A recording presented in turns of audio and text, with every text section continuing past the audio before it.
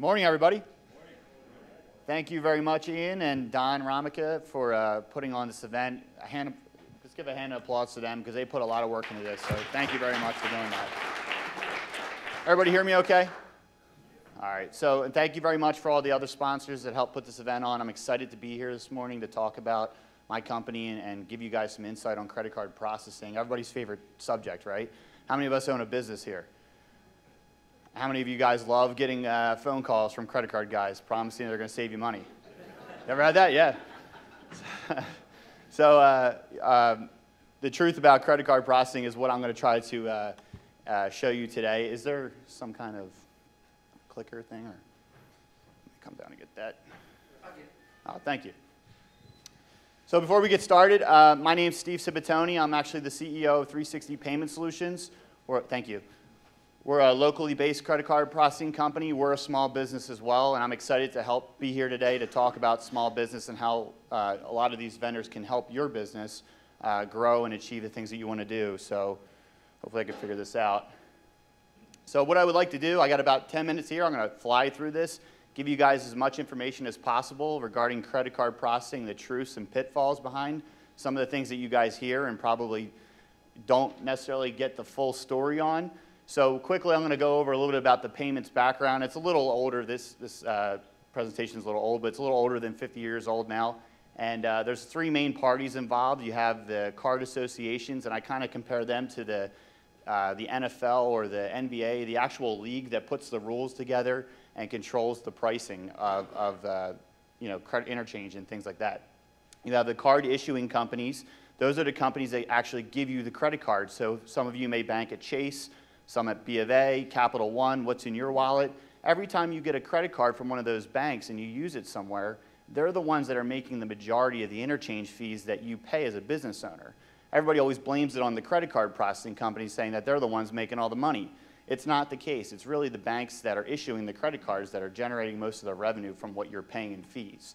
And then you have the acquiring companies, the acquiring banks, and that's pretty much what we are. We're a credit card processing company that basically moves the data from the credit card itself to uh, the Federal Reserve and a lot of other places. We pay all the associated parties, and then we put the money, the rest of the money in your bank account.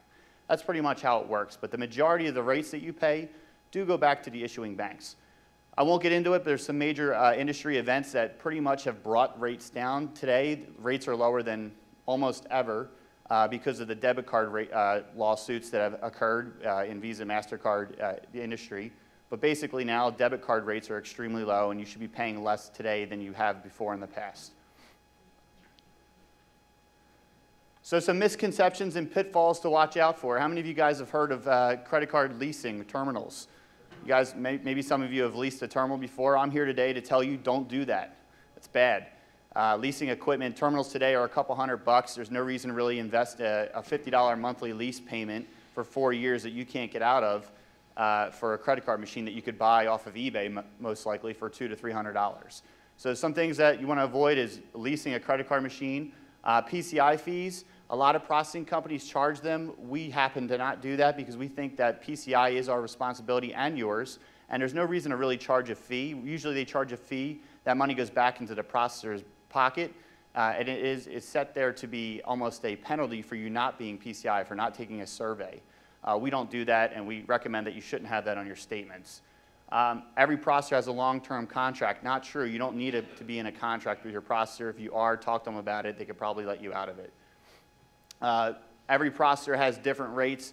The truth about credit card processing is we all have the same rates.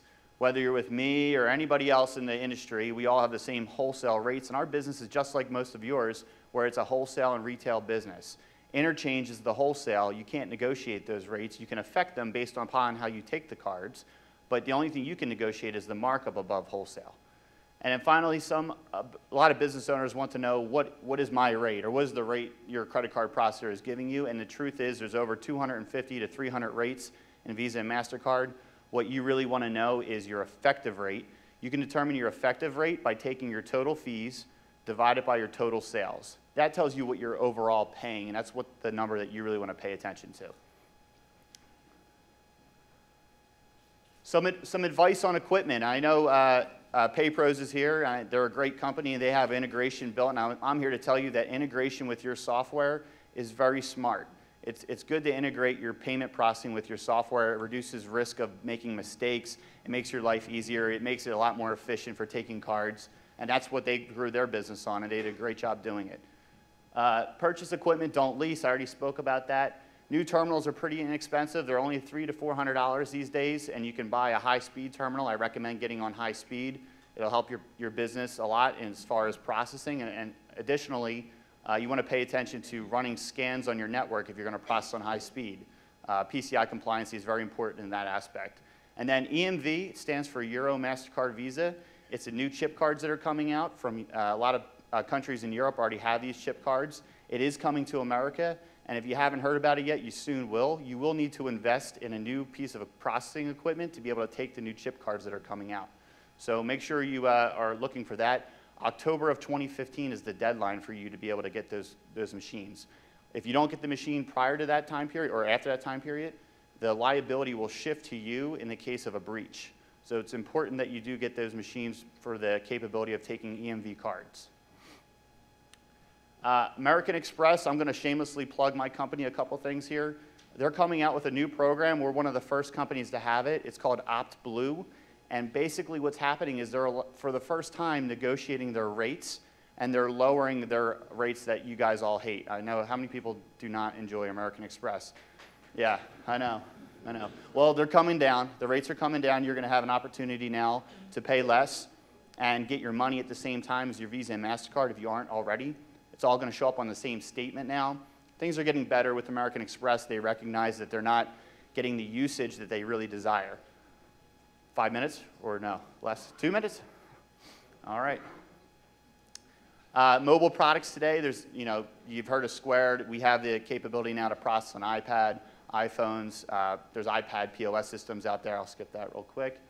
Uh, customer analytics, this is something I'm really excited about, something my company is partaking in. There's uh, new software being developed today for both social media and for payment analytics to be able to track how many individual customers you have, how many times they come back, how many of them are new versus repeat. And a lot of processors are coming out with the data. They're compiling data from many different sources and to be able to tell you more about your customer and how you can market to them to grow your business. So that is something you should look for in a payment processor. Uh, this is a little bit about us, our history. We were incorporated on Janu January 25th, 2011. Uh, we're currently, we have 1,600 clients, mostly here in the Bay Area. We, are a local company. Uh, we have over 20 employees now. We're partnered with seven financial institutions, several trade associations, a bunch of software companies, and that's Roxy, our, our office ma mascot, and that's our 360 team right there. Our green monster, you might see it driving around. It's our uh, local technician's car that we have. And we like to say, in ideal world, under the 360 umbrella, we have everything that I just spoke to you about. Uh, and again, a shameless plug here, but uh, we, we're a small company that cares about our customers. We give you guys the personal touch to an impersonal industry. And we guarantee our rates. We don't charge PCI fees. We don't have termination fees. When we built this company, we thought if I was a business owner, how would I want my merchant processor to treat me? And that's how we built, built our company. So with that, thank you very much for your time today, and thank you again for, uh, to Extreme Impact for putting this uh, event on. Very excited to be here today. Thank you so much.